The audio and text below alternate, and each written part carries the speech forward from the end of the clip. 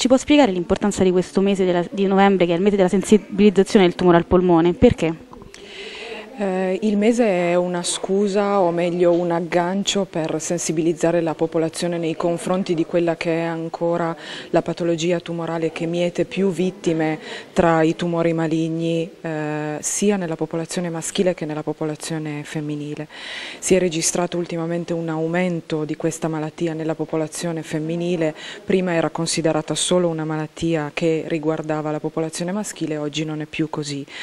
Eh, il difetto di questa malattia è che purtroppo viene associata in maniera molto stretta al fumo di sigaretta e questo è corretto perché l'85% delle persone affette da tumore al polmone sono o sono stati dei forti fumatori.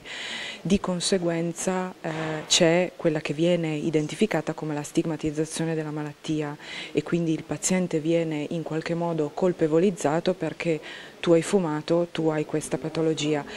Eh, questo fa sì che i media siano diciamo, molto meno interessati o eh, sottolineano, sottolineano, molto meno l'importanza di questa patologia proprio perché è legata ad un fattore di rischio che è un vizio, quindi il mese di sensibilizzazione serve proprio per ricordare i numeri di questa malattia, il fatto che ogni anno muoiono 35.000 persone in Italia solo per il tumore al polmone e per ricordare che molto si può ancora fare in termini di prevenzione primaria, secondaria e in termini di trattamento.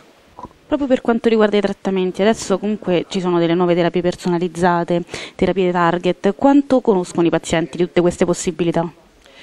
Direi che eh, il livello di conoscenza è buono perché eh, comunque soprattutto tramite internet si riescono a trovare parecchie informazioni e quindi dalla messa in commercio di questi farmaci a bersaglio molecolare la comunicazione c'è stata.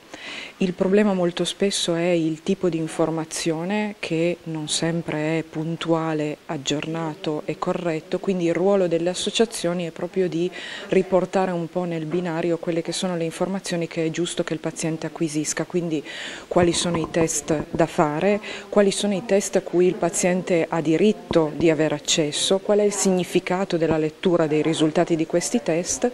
e ehm, quali centri possono offrire una terapia a bersaglio molecolare che magari non è ancora in commercio ma è già in fase avanzata